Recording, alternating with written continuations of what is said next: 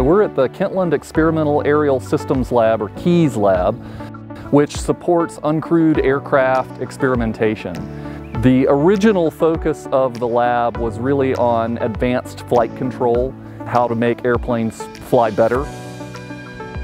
When an aircraft designer develops a concept for an aircraft, they typically focus on a particular flight condition where the airplane flies at a constant speed with small turns.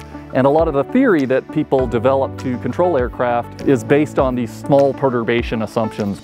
But there are applications where it would be advantageous to allow the aircraft to behave more aggressively. And to support those applications, we have to develop new theory. And so that's what the graduate students do as part of their dissertation research. But what this lab enables us to do is to come out and test those algorithms that they've developed, the theory that they've developed on actual aircraft. I'm an international student from Ethiopia. I've always loved the aerospace world. I guess I got that influence from my parents. Ironically, my father was a pilot and my mom was a flight attendant, now they're retired. Eventually, as I grew, I realized that I had more interest other than just flying, and I wanted to understand how aircraft work, and this field allowed me to understand that. Yeah, so um, here, do you mind? There's a lot of interest in the aerospace industry right now in a concept called air mobility. And the idea is these sort of smaller electric powered vertical takeoff and landing aircraft that can operate out of cities and fly back and forth from cities to suburbs or between industrial sites in an urban area.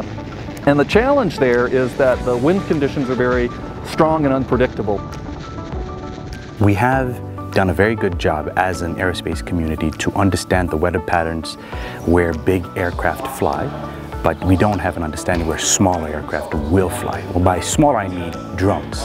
And so this research is essentially saying, all right, there's some gaps within that region, one of which is understanding wind velocity and how do we assimilate those to larger weather predicting models.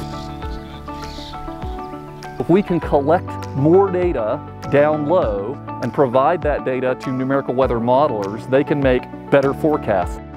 And if we can make better forecasts of the weather conditions in those kinds of environments, it will be enabling for this new technology.